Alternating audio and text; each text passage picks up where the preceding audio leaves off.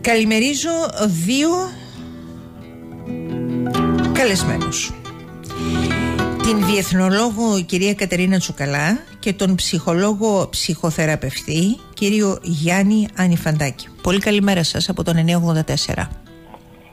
Καλημέρα κυρία Τουκιαδάκη. Καλημέρα και στην συνάδελφα. Θέλω να ξεκινήσω από την ε, κυρία Τσουκαλά η οποία έχει την γνώση και την εικόνα του τι γίνεται ανά τον κόσμο ξεκινώντας πρωτίστως από την Ελλάδα και φτάνοντας στην άκρη της γης αναφορικά με αυτά τα περίφημα δικαιώματα. Ακόμα και αν δεν μιλάμε για γιορτές οι αναφορές είναι αναφορές γιατί οι ασέβειες και οι ντροπές ε, σε όλες τις εκφάνσεις, της, ε, εκφάνσεις τους αξίζουν να αναφέρονται κυρία Τσουκαλά. Και μετά θέλω να ρωτήσω και αυτό είναι το βασικό ερώτημα από ό,τι θα ακούσετε και ακούτε και αντιλαμβάνεστε και ως ψυχολόγος και ως ψυχοθεραπευτής κυρία κυρία Νιφαντάκη είναι το γιατί αυτή η ασέβεια στη ζωή. Ασέβεια στη ζωή. Κυρία Τσουκαλά, ξεκινάω από εσάς. Καλή σας μέρα κύριε Δουλγεράκη. Εγώ θα συμφωνήσω με τον Κουτιέρες. Ε, δυστυχώς και ιδιαίτερα στη χώρα μας ο δρόμος προς την ισότητα είναι απε, απελπιστικά μακρύς. Ε, θα ήθελα να σας παραθέσω τα ευρήματα επειδή τα παρακολουθώ εδώ και χρόνια, εδώ και χρόνια. Υπάρχει ο λεγόμενος δείκτης ισότητας φύλων και στο συγκεκριμένο δείκτη το οποίο, το, το οποίο την έρευνα έχει αναλάβει ε, το Ευρωπαϊκό Ινστιτούτο για την Ισότητα των Φύλων τα τελευταία πέντε χρόνια η χώρα μας κατατάσσεται στην τελευταία θέση. Ε, αυτό δεν είναι τυχαίο. Αυτός είναι ένας δείκτης ο οποίος λαμβάνει υπόψη πάρα πολλούς τομείς, πέρα από τις απολαβές των γυναικών. Ε, λαμβάνει υπόψη παραμέτρους όπως ε, η πρόσβαση σε θέσεις ευθύνης και εξουσίας, ε, την κατανομή της φροντίδας των παιδιών, ακόμα και τον καταμερισμό του χρόνου αναφορικά με την οικιακή εργασία μεταξύ γυναικών και ανδρών. Ε, αντιλαμβάνεστε λοιπόν ότι με βάση και την πατριαρχία, αιώνες εγκαθιδρυμένης πατριαρχίας και ε, νοοτροπίας στη χώρα μας, ότι η χώρα μας βρίσκεται στη χαμηλότερη θέση και ακόμα κατώτερα από χώρες όπως η Ρουμανία και η Ουγγαρία. Δηλαδή αν, αν στην Ευρωπαϊκή Ένωση ο μέσος όρος είναι 68,6-67%, στην Ελλάδα ο μέσος όρος είναι 53,4%. Αλλά σημασία δεν έχει η ποσοτικοποίηση, κύριε Τουλγεράκη. Σημασία έχει η ανθρώπινη εμπειρία. Ε, και η αλήθεια είναι ότι έχοντας επιστρέψει στην Ελλάδα τα τελευταία χρόνια, έχοντας την τύχη στη ζωή μου να ζήσω σε πολλές χώρες στο εξωτερικό, σε μερικές με ίσως ε, χώρες ε, στις πιο υψηλές θέσεις κατάταξης, αλλά και σε χώρες με ακόμα χαμηλότερες στη Μέση Ανατολή ε, από ότι η Ελλάδα. Αυτό που μου κάνει πραγματικά εντύπωση είναι ότι στην Ελλάδα οι γυναίκες δεν διεκδικούμε τα δικαιώματά μας. Ε, δεν είμαστε οργανωμένες, βλέπουμε ένα σωρό ε, δείκτες. Βλέπουμε ότι στη, ε, στην Ελλάδα οι γυναίκες ε, θα προτιμήσουν ε, εργασία ημιαπασχόλησης. Ε, και αυτό το οποίο πραγματικά με τρομάζει είναι η περιθωριοποίηση και η φτωχοποίηση των γυναικών. Γιατί αυτό κανένας δείχτης δεν χρειάζεται να σου το αποδείξει. Αυτό είναι κάτι το οποίο το βιώνεις στην καθημερινότητά σου. Ε, βλέπεις συνεχώς επισφαλείς θέσεις εργασίας για τις γυναίκες. Βλέπεις γυναίκες οι οποίες ε, μετά από μια εγκυμοσύνη ε, κοπιάζουν πάρα πολύ να ανακτήσουν την πρώτερη θέση τους σε μια εταιρεία ή στον, στον εργασιακό τους χώρο. Ε, δεν υπάρχει στήριξη από την πολιτεία ε, για μια γυναίκα να επικεντρωθεί, στήριξη επικοιλωτρόπως. Ε, Παραδείγματος χάρη να σας πω ότι η πρώτη χώρα στην κατάταξη είναι η Σουηδία. Η Σουηδία είναι μια χώρα η οποία παρέχει υψηλότερο επίπεδο παροχή ε, ολοήμερης βρεφονιπιακής φροντίδας. Δηλαδή μια γυναίκα από τη στιγμή που θα γεννήσει δεν έχει να ανησυχεί ποιος θα παραλάβει το παιδί, ε, αν η πεθερά της θα βοηθήσει στην, στην ανατροφή. Ε, ούτε το ζευγάρι έχει να ανησυχεί για τέτοια θέματα ε, καθώς το κράτος αναλαμβάνει, με, όπως σας είπα, υψηλότητα του επίπεδου ορφωνικιακή φροντίδα. Ε, να μιλήσουμε επίσης και για γονικές άδειες, έξι μηνών στη Σουηδία, έτσι. Στην Ελλάδα μόλις ε, πέρυσι καθιερώθηκε 14ήμερη άδεια για τους άνδρες. Ε, αντιλαμβάνεστε λοιπόν τη διάσταση στο θεσμικό πλαίσιο αναφορικά με την ισότητα των φύλων. Για να μην πάμε ε, και πολύ μακριά και να μείνουμε στη γειτονιά μας. Αυτά τα οποία συμβαίνουν. Κύριε Νιφαντάκη, ένα πρώτο σχόλιο ή απάντηση στο ερώτημα που σας έθεσα πριν από λίγο, μετά από αυτά που ναι. ακούσαμε και από την κυρία Τσουκαλά. Ναι, την καλημέρα μου.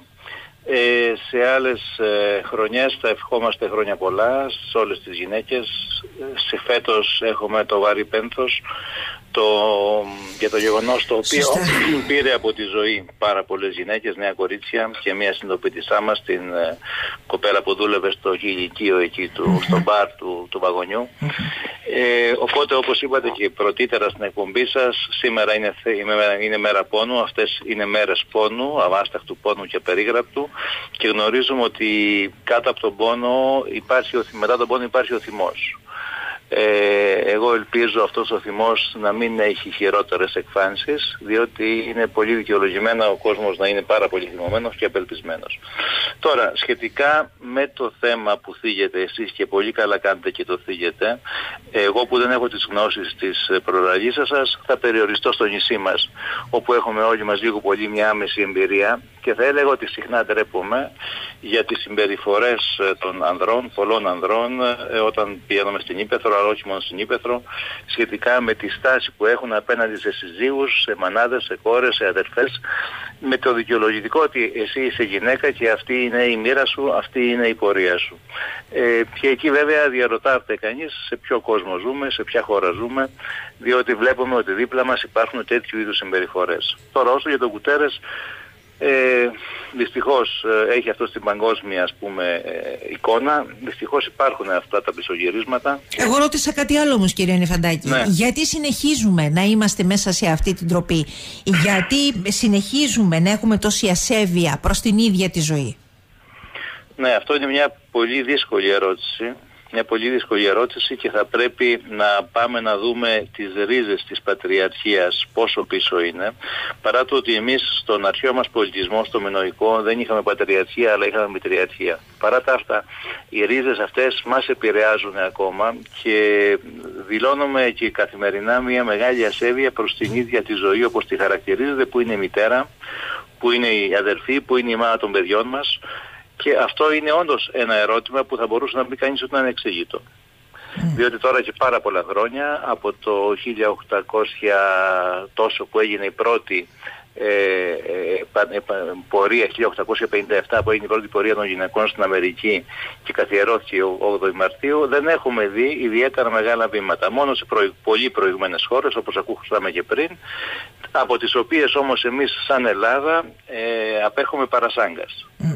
Και από ό,τι αντιλαμβάνομαι έτσι όπως σας ακούω μάλλον και οι ελπίδες είναι μειωμένες για να περάσουμε στο επόμενο βήμα που λέει βελτιώνουμε εκείνες τις συνθήκες σεβόμαστε λίγο παραπάνω εντάξει το άλλο θύμα μπορεί να είναι η καθημερινότητα μπορεί να είναι τα όσα βιώνουμε αλλά φαντάζει έτσι όπως σας, σας ακούω κυρία Ανιφαντάκη να είναι κομματάκι δύσκολο είναι δύσκολο διότι εγώ θέτω πάντα το ερώτημα τι κάνει ο κάθε ένας μας στην μικρή του καθημερινότητα. ε, σε όλες μας τις συμπεριφορές καθημερινές. Και μία από αυτές τις συμπεριφορές καθημερινές είναι και η συμπεριφορά μας των ανδρών, στην περίπτωση αυτή, απέναντι στο γυναικείο φύλλο.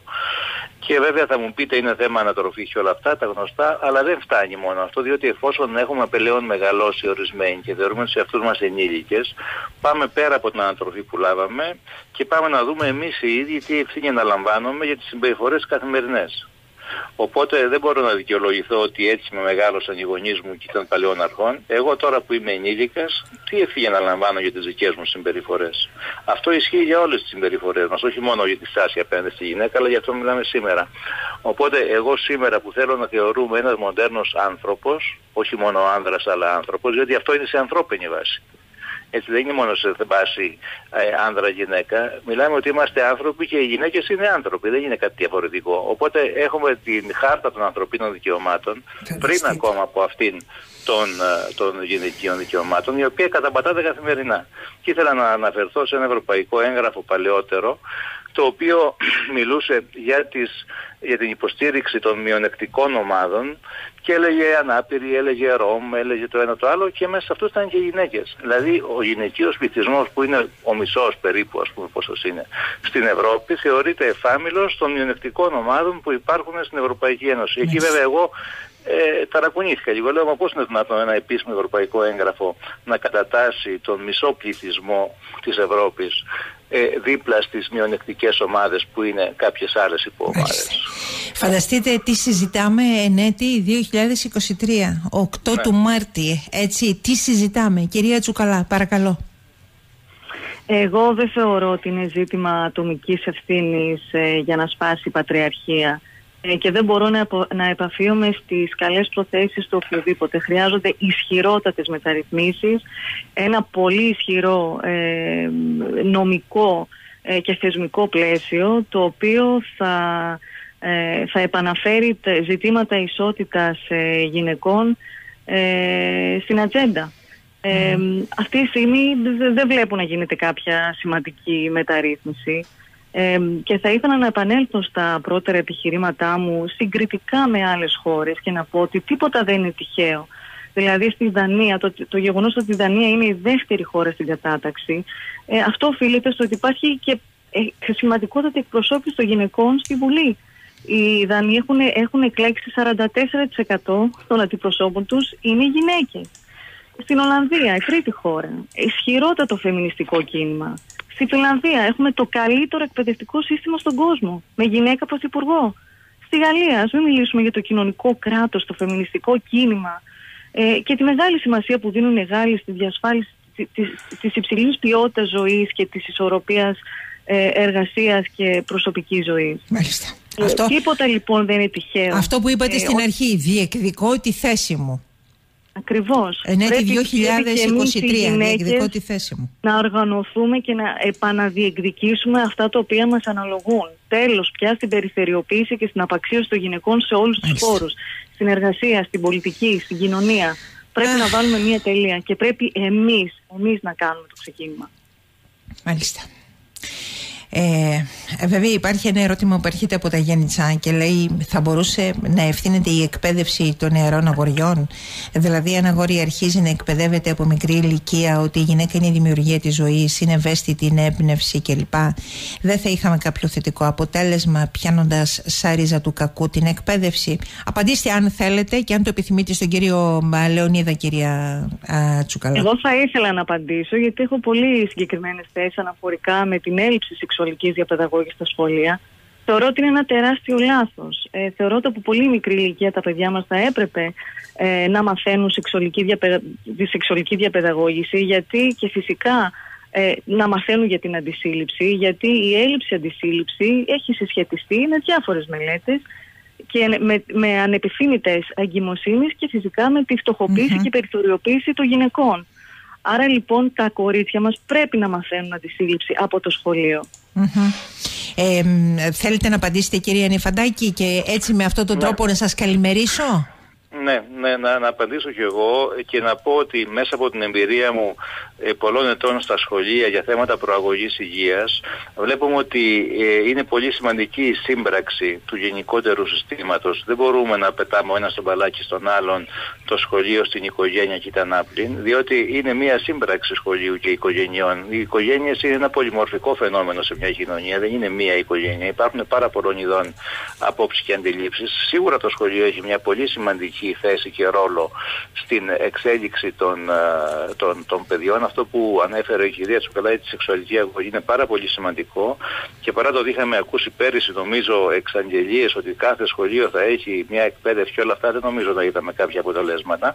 Οπότε ε, θα είναι καλό και το βλέπουμε βέβαια αυτό και από τις σχολές γονέων που υπάρχουν στα σχολεία, πόσο μικρή είναι η συμμετοχή σε σχολές γονέων, όπου αναφέρονται ένα σωρό τέτοια θέματα. Οπότε θα έπρεπε, θα μπορούσε κανείς να διορωτηθεί για ποιο ποιο λόγο οι γονείς ενός δημοτικού, δεν μιλάμε για ηλικία, δεν ενδιαφέρονται να ε, μάθουν κάποια παραπάνω πράγματα σχετικά με την εκπαίδευση, σχετικά με όλα αυτά τα το πολύ σημαντικά θέματα. Οπότε εγώ θα έβλεπα μια σύμπραξη όλων των, των, των, δεν θέλω να πω φορέων, αλλά όλων των πρωτοβουλειών που υπάρχουν σε μια κοινωνία, οι οποίες μπορούν να οδηγήσουν σε μια πραγματική αλλαγή. Σίγουρα αν κάνει ο καθένας το δικό του το ρόλο, το, το δικό του το κομμάτι, θα προχωρήσουμε όλοι μαζί. Κυρία Τσουκαλά, κυρία Νεφαντάκη, σας ευχαριστώ ιδιαίτερος. Καλημέρα σας. καλά. Καλημέρα. Ευχαριστούμε.